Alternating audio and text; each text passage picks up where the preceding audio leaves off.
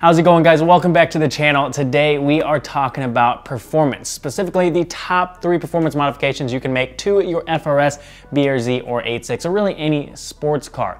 Now some people, when you mention performance, they automatically think super high horsepower numbers, big turbos,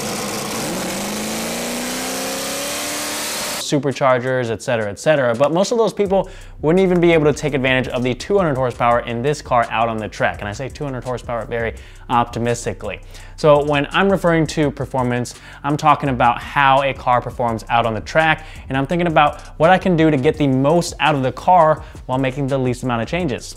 So first and foremost, a set of sticky tires is gonna make a world of difference, especially on this car because these stock tires are complete garbage. Get rid of them, swap them out. If you wanna do any sort of performance driving, whether it's autocross or track days, get yourself a set of high performance summer tires like these Bridgestone RE71Rs or some Hankook RS4s or the new Falken RT660s that a lot of people have been liking. Any sort of 200 treadwear tire is gonna be a lot better than the stock tires and it's gonna be a huge upgrade. Now this car came with some all seasons on it that I took to mid-Ohio and that's gonna give me a really good idea of how much better these tires are.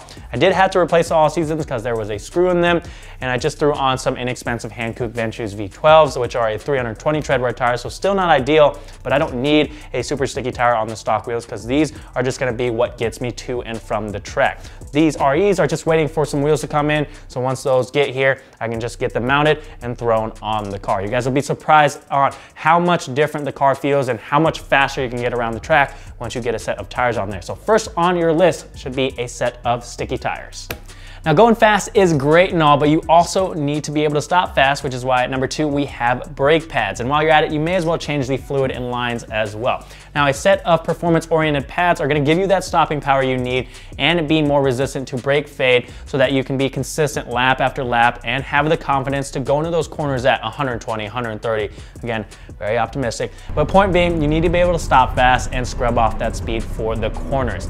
As far as brake pads go, there are a ton of different to choose from, so you really need to take into consideration what you're using the car for. If you're just out dailing your car on the street and doing some canyon runs here and there, you're not gonna wanna opt for that full track pad that's super aggressive because it's gonna need heat in it, it's gonna be noisy and dusty. You're gonna want just a street pad that's more aggressive than your stock pad. On the other hand, if you're building a full track car, you are gonna wanna opt for that really aggressive pad over just a street pad. So Again, you really need to think about what you're using the car for and then make an informed decision from there. But brake pads are definitely a must because you're gonna find that the stock pads are just not adequate once you start pushing your car to the limits.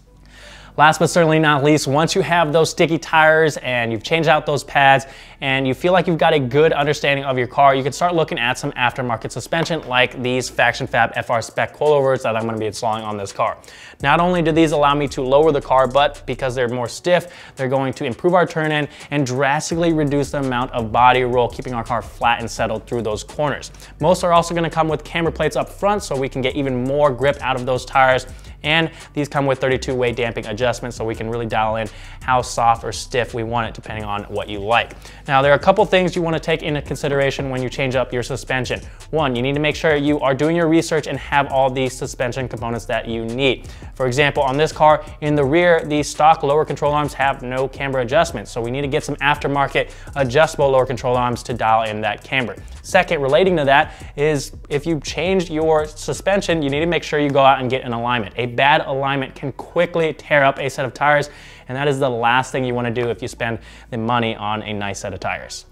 To sum it all up, if you guys want a good baseline to really start pushing the limits of your car, get yourself a set of sticky tires, some performance brake pads, and a set of nice aftermarket coilovers. And that should be a great starting point. Once you've done that, you can start messing around with other components to help dial things in. For example, I'm gonna be putting a beefier front sway bar on this car to help with some turn in and give it a bit more push on exit so we can be more aggressive on throttle. But those are just some of the modifications that I recommend to help improve the performance of your car. If you guys have any suggestions, let me know in the comment section down below what tires you're running, what brake pads or suspension you're running. I'm always open to suggestions. If you guys wanna follow along on this build, hit that subscribe button down below, give this video a thumbs up, and I'll see you guys next time.